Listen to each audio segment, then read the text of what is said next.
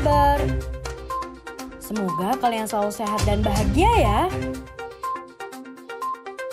Ada informasi Omicron sudah masuk ke Indonesia, menyebar hingga banyak yang positif.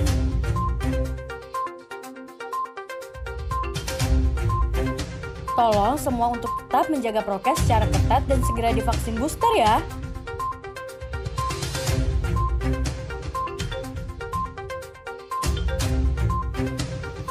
Yani dari Kami Bijak mau menginformasikan berita tentang Indonesia yang menjadi tuan rumah GPDRR 2022 dan akan disediakan JBI.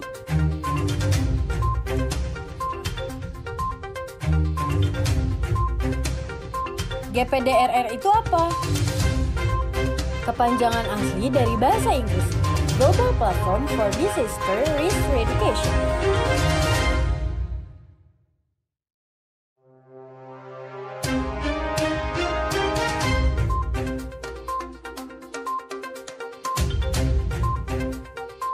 Ditranslatekan ke bahasa Indonesia, artinya platform global untuk pengurangan resiko bencana.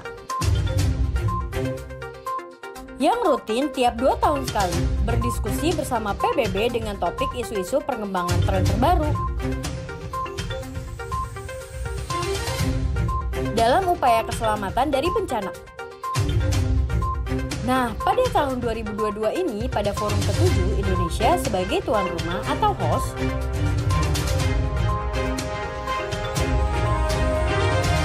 yang berlokasi di Bali tanggal 25 sampai 28 Mei dan dihadiri sekitar 5.000 orang dari 193 negara.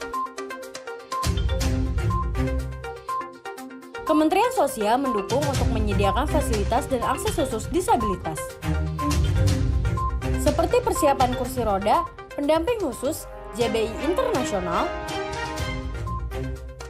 dan mobil akses untuk ditempatkan di bandara, venue, dan hotel. Untuk bandara akan berfokus di dua tempat, Soekarno-Hatta Jakarta dan I Gusti Ngurah Rai Denpasar.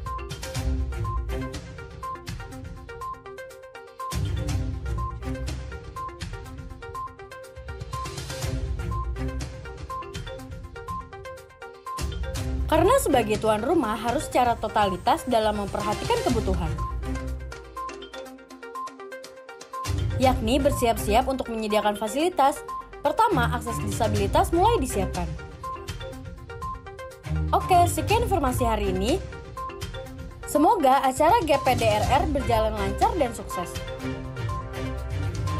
Terima kasih telah menonton, tetap menonton kami bijak ya. Jangan lupa untuk follow TikTok karena ada konten baru dan menarik. Sampai bertemu lagi di Kami Bijak.